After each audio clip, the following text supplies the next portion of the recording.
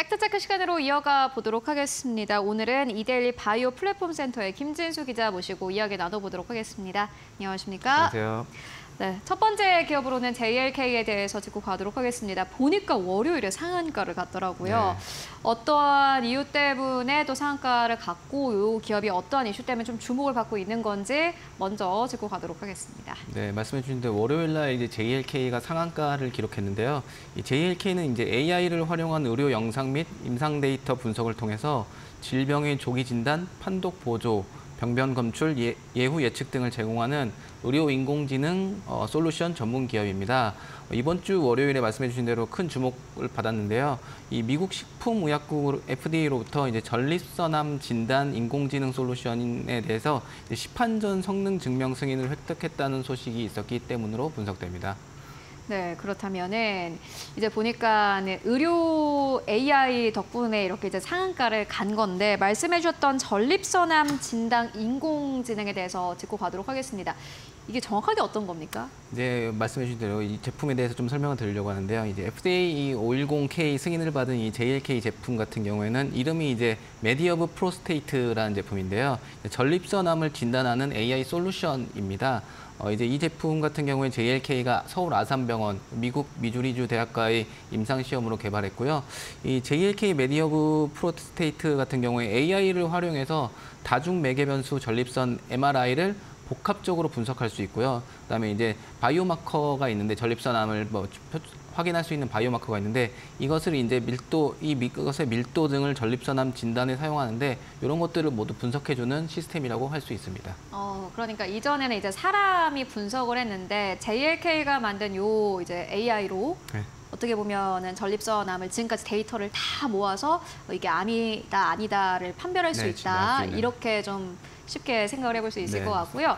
그렇다면 이제 앞서서 시판전 허가다 이렇게 말씀해 주셨는데 시판전 허가라는 거는 다른 허가랑 좀 다른 겁니까? 네, 이제 말씀해 주신 대로 제가 시판전 허가라고 말씀을 드렸는데요. 이 510K 또 510K clearance라고도 불리는데 이제 시판 전 성능 증명 제도 같은 경우에는 미국에 이미 유통 판매가 되고 있는 의료기기 같은 것과 비교했을 때 이제 내가 이제 새로운 기기를 발, 발견해서 발명해서 이제 판매 전에 동, 동등성을 입증하는 제도라고 볼 수 있는데요.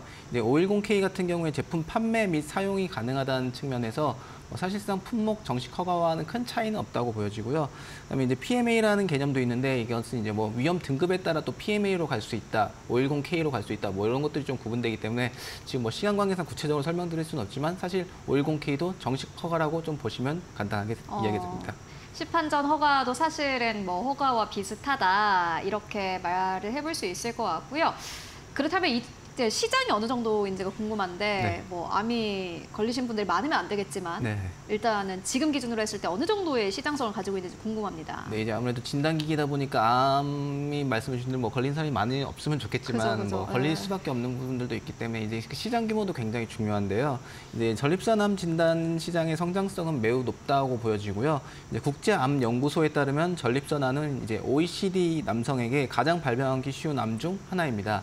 특히 이제 미국 남성에게 가장 흔한 암 1위이기도 한데요.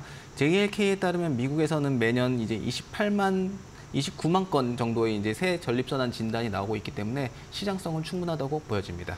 어, 그러니까 이제 미국도 마찬가지고 한국도 마찬가지고 시장성이 큰 전립선암 쪽에서 어, JLK가 AI 관련 서비스를 이렇게 이제 발 작전을 한 건데 그렇다면 그 이외에도 다른 제품이 있을지 궁금합니다. 포트폴리오에 하나만 있으면 사실 불안하잖아요. 네, 맞습니다. 음. 전립선암 이외에도 이제 JLK는 지난달 FDA에 이제 JLK LVO라는 제품이 있는데 이것에 대한 또 510K 신청을 완료했습니다. 이 이후에도 이제 추가 4개 가량의 솔루션을 인허가를 추진한다는 계획인데요. 이 지난달에 이제 510K 신청을 한 이제 LVO 같은 경우에는 혈관 조형 CT 이미지를 통해서 대뇌 혈관 폐색을 신속하게 검출하는 어, 인공지반 솔루션이고요. 뇌경색, 뇌졸중에 대한 진단을 하는 도, 어, 의료기기라고 보시면 됩니다. 이제 이 JBS 01K라는 것도 있고 JBS 04K라는 것들과 함께 이제 이 JLK의 주요 솔루션으로 꼽히기도 하고요. 이제 의료기기 시판전 성능 증명 제도 같은 경우에 신청 후 승인까지 보통 1년 내 시간이 걸리는데요. 일반적으로 신청 6주 내외로 첫 응답을 수령하고 이후 이제 40 2주 내에 승인에 대한 결과를 받는 만큼 이르면 올해 하반기에도 결과 확인이 가능할 것으로 전망됩니다. 네, 알겠습니다. JLK가 뭐 AI 쪽에서 서비스를 좀 강화하고 있는 상황인데 전립선 암은 물론이고 뇌졸중까지 최근 들어서 포트폴리오 를 확대하고 있다라고 저희 어, 좀 정리를 해보고 가도록 하겠습니다. 이어서 두 번째 기업 바로 만나보도록 하겠습니다. 보로노이 만나보도록 할 텐데 폐암 치료제로 최근에 좀 관심을 받고 있는 상황입니다. 어, 요즘에는 어떤 이슈가 있습니까? 네, 이제 보로노이 같은 경우에 현재 개발 중인 이제 비소세포 폐암 치료제를 통해서 이제 안정적 수익을 확보할 수 있을 것으로 보여지는데요. 이제 올해 하반기부터 약 2년 동안 이 보로노이가 이 비소세포 폐암 치료제에 대한 주요 이제 뭐 임상 연구될 개발 데이터가 나올 예정이어가지고 굉장히 뭐 주목할 필요가 있다고 보여지고 있습니다. 그렇다면 데이터 진행은 어떻게 되고 있습니까? 네, 이제 먼저 이제 VRN07 이제 ORIC 114라고도 불리는데요. 이 비소세포 폐암 치료제 중에서도 EGFR 엑손 20 삽입 변이에 대한 타깃으로 하는 물질입니다. 어, 2020년에 미국 나스닥 상장사인 오릭 파마 에 이미 기술 수출된 물질이긴 한데요. 어, 임상 1상이 진행 중, 임상 1비상이 진행 중이고요. 내년 3월 달에 이 임상 1비상 수집을 끝낼 예정이라서 어, 뭐 오릭은 현재 이제 진행 중인 데이터를 내년 상반기쯤에는 발표할 수 있지 않을까 이렇게 보여지고 있습니다. 근데 현재까지 확인된 데이터에 따르면 이 VRN VLR, 아, VRN07 같은 경우에 기존 치료제로 치료가 되지 않는 폐암 환자에서 폐암 환자 중에서 이제 뇌로 전인된 환자 두 명에서 완전관해 완전 치료가 됐다는 개념이거든요. 완전관해 사례가 확인되는 등 개발이 순항하고 있다고 보여집니다. 음, 일단 뭐 임상은 잘 진행되고 있다 이렇게 볼 수 있을 것 같은데 그렇다면 이제 기술 수출을 해서 얻을 수 있는 매출 뭐 네. 규모 같은 게 궁금합니다. 어느 정도일까요? 네, 아무래도 금액이 가장 중요한 부분이긴 그렇죠. 한데요. 네. 보로노이가 체결한 기술 수출의 총 금액이 이제 8,600억 원 가량이 됩니다. 현재 이제 계약금으로 180억 원 가량만 수령한 상태고요. 어, 앞으로 이제 임상 3상까지 마치는 경우 어, 약 2,200억 원을 추가로 확보할 수 있게 됩니다. 이후에도 이제 뭐 본격적인 판매가 이뤄지면 6,200억 200억 원 가량을 더 확보할 수 있게 되고요. 이 밖에도 이제 계속해서 판매가 이뤄지면서 확보할 수 있는 금액 판매 로열티라고 하는데 이 부분도 이제 매년 한 150억 원 가량의 자금 확보가 가능할 것으로 보여집니다. 음, 확실히 바이오 쪽은 금액이 크네요. 네. 어, 몇천억 원대인 것 같은데 그렇다면 VR의 11도 한번 짚고 가도록 하겠습니다. 4세대 EGFR 저해제로 꼽히는데요. 이제 10mg, 10mg부터 180mg까지 점점 용량을 증량하는 식으로 임상이 진행되고 있습니다. 이제 현재 이제 임상이 계속 진행 중에 있고 올해 10월 달쯤에 임상 중간 결과 공개가 될 전망이고요. 이 보통 이제 타그리, 타그리소라는 것이 1차 치료제로 사용되는데 이 타그리소를 사용했을 때 내성 문제가 C797S라는 변이 발생인데요. 이 VRL, VRN11 같은 경우에는 이, 이 변이를 타깃으로 하기 때문에 이제 2차 치료제 개념이 될 수도 있는데 이 변이가 생겼을 때 치료할 수 있는 물질이 현재는 없기 때문에 개발됐을 때는 독점적 지위까지 노릴 수 있는 상황이라고 보시면 됩니다.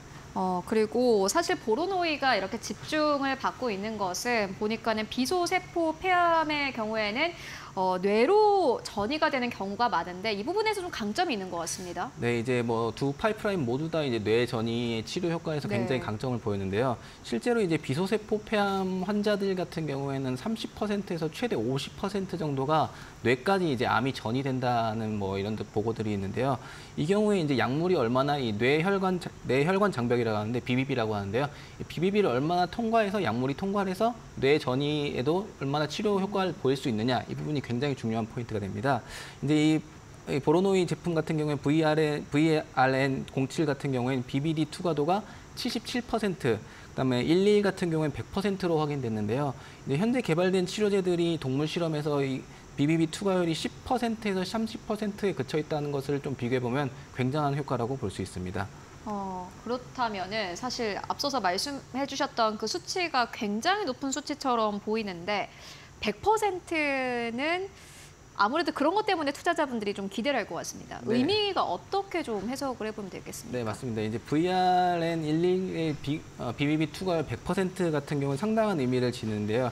현재 이제 개발이 중단되긴 했지만 미국 Blueprint Medicines가 개발 중이던 비소세포 폐암 치료제 BLU 701이 있는데 이게 이제 BBB 투과율 56%를 보여서 굉장히 주목을 받았었거든요.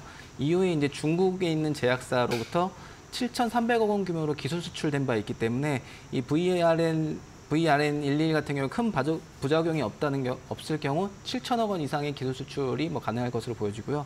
어, 이 보로노이 같은 경우에 이제 임상 일상까지 마친 뒤에 가치를 높인 이후에 이제 기술 수출한다는 전략을 펼치고 있어서 데이터 확보 이후에 기술 수출이 본격화될 것으로 기대됩니다.